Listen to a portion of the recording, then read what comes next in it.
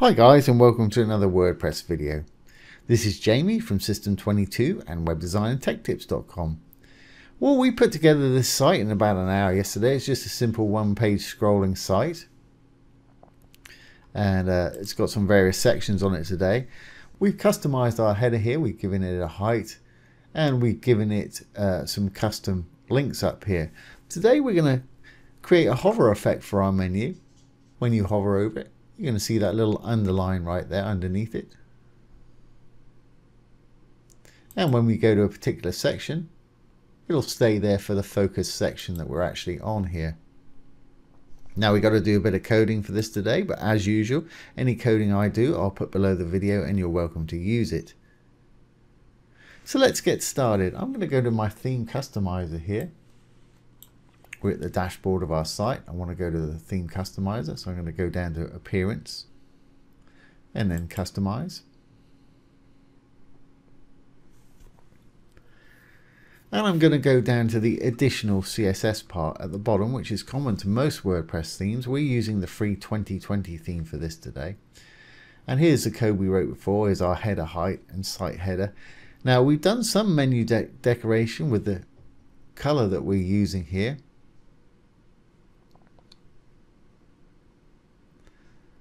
And the actual uppercase, you can add what we're doing today to your existing one if you've been following, or you can do a new one. So let's put a title in and we'll call it header underline just so we know so we know how to find it easily next time we come back and look or if anybody else is editing the site. It makes it easier for them to find it if you put a title in.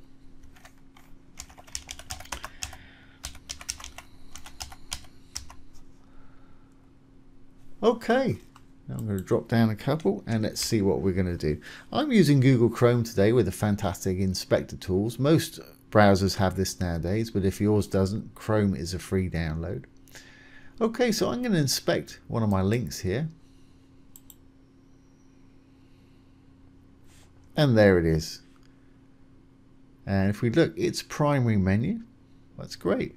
So let's make it, if we actually hover on it, you can see where the blue highlight is the actual word itself is the space that that's taking up. So we need to give it a little bit more space so we can have a little underline there. So I'm going to give it some padding. Just going to 5 pixels top and bottom and 0 left and right. Now if I hover over it, you can see it's got a little more space. And now it's got a little more space there, we can actually put a border on the bottom of it to create that bottom border effect. So I'm going to say border, bottom. I'm going to give it three picks. I'm going to make it solid. And I'll just call it blue for a minute. I'll change it to the same color as our hover color for our actual links up here. That blue up there. I'll just put regular blue here for the moment.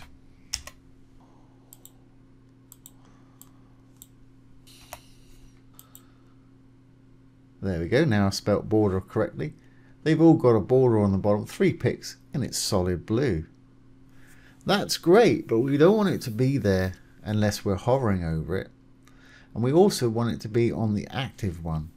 So let's copy what we've got here. I'll copy it from the dot of the class name all the way down to that closing curly bracket. Control C to copy. And I'm going to paste it in over here. Control V to paste. Now I can get rid of any that we didn't write in there. So I'm going to select those and put them in. Now the blue color is wrong. I want it the same as our hover color here that we set earlier or just put in whatever co color you want. And here's our menu decoration. Here's the color that we used on hover. I'll use that again.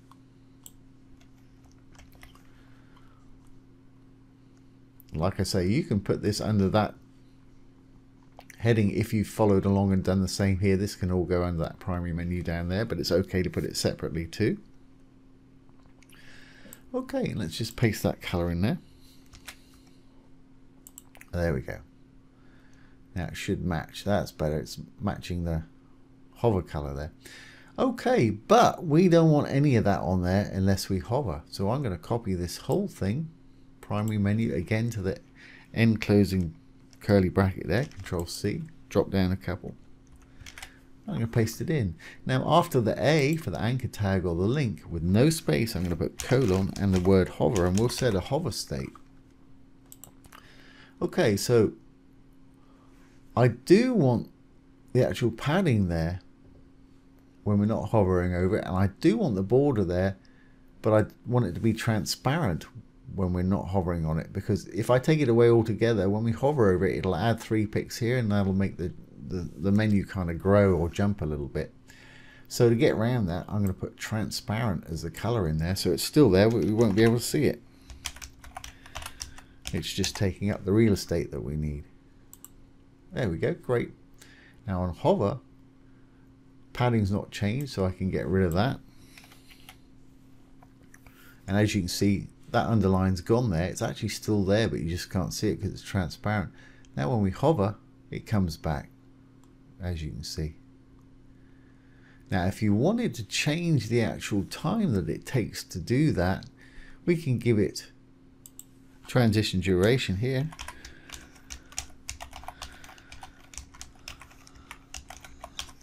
Say give it half a second. So 0.5 seconds whatever works for you 0.75 0.3 whatever. And that you can either slow it up.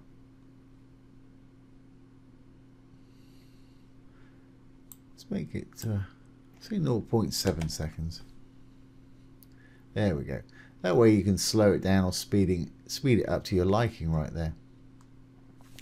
Okay well that's all working now for our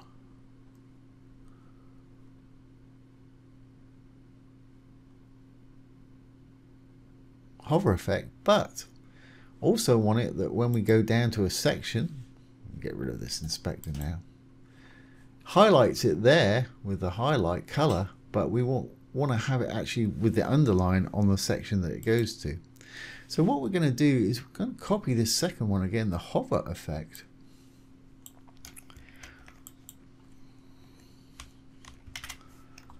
And I'm going to change the hover to focus.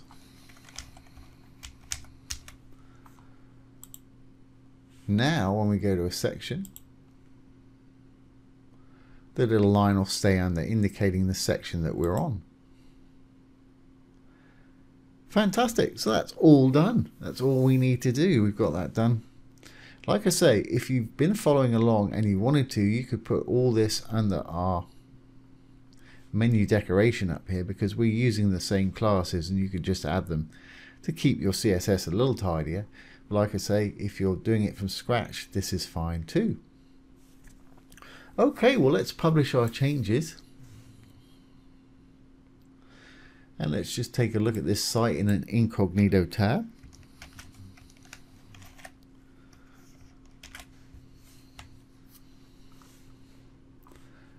And there we have it. When we hover over, we get our little line